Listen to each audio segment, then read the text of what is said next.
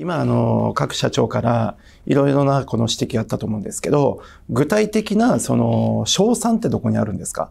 その数を集めなきゃいけない。で、その、これぐらい集めたいと思いますっていうのは誰でも思ってることなんですけど、集まらないんではないか、集まったとしてもそれに入れ込むリソースがない。二人でやるわけじゃないですか。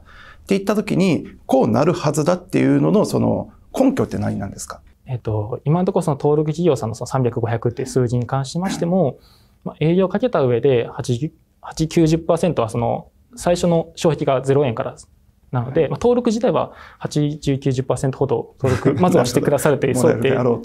でいた中で、まあ、毎日このぐらいのところにアプローチをして、このぐらいの数を、と考えたときには、そのぐらいの数がまず集まるというところが一つ ありまして、あとは、あと、この1年間、あの、自分の動画制作会社として、まあ、動き回った中で、やはりこう、いろんな経営者さんの関係性は作れてきているとは、あの、自分の中では思っておりますので、関係性を使った、まあ、営業というところも考えておりました。わ、はい、かりました。もう一つ、今の関連の、あの、ことなんですけど、じゃあその、えっと、企業が欲しいものって人材じゃないですか。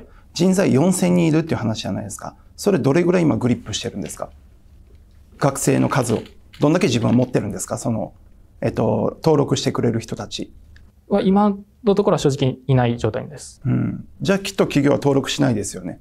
ゼロ人のところに時間とコストをかけないと思うので。そうですね。うん。なんでそこは、えっと、サービス開始前に、えっと、企業の、企業さんへの営業活動と学生さんを集めるというところは並行して行っていく想定でした。なるほど。はい、わ、はい、かりました。